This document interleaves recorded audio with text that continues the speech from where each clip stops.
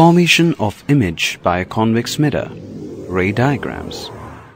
In order to know the position and nature of the image formed due to reflection of light from a spherical mirror, generally two rays coming from the same point of an object are considered.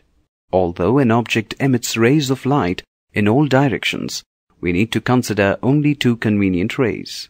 The image is formed at the point of intersection of these reflected rays. Shown here are the rays that are generally considered while constructing ray diagrams. A ray of light incident normally on the mirror appears to pass through the center of curvature C. A ray of light parallel to the principal axis appears to diverge from the focus F.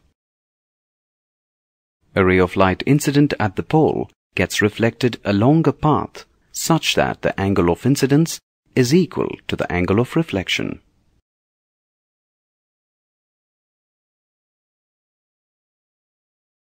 Mouse over on the buttons for the ray diagrams and click on the buttons to view the animated ray diagrams for different positions. Choose the rays by clicking on the links provided.